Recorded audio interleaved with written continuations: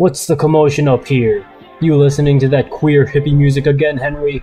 It's called DeathBrain Dad. It's not for hippies, and it's not gay.